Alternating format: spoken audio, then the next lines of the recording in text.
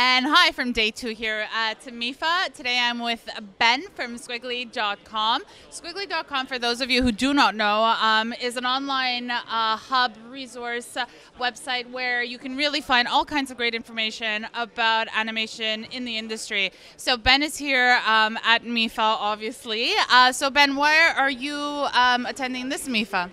Well, it's predominantly uh, as part of Skwigly. Uh, we do a lot of event coverage, so Annecy, of course, is absolutely perfect for us.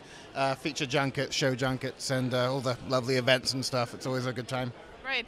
Um, can you tell us about some projects that you have that are coming up?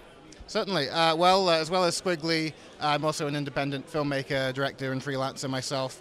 I have a film that's doing the rounds at the moment at festivals. It's called Clean and Throw.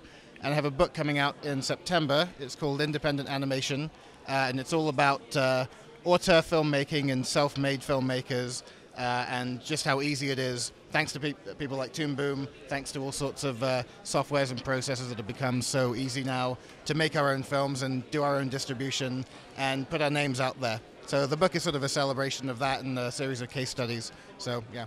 Have you been able to catch any films or any screenings? I've mostly been looking at the features Okay. uh, this trip uh, and some really good stuff. Uh, My Life as a Courgette, it's tremendous. Uh, Psychonauts, um, yeah. Excellent. So that's Ben um, from Skwigly.com. Go to the website um, if you're ever interested in um, seeing what's going on, especially in Europe, in the animation industry.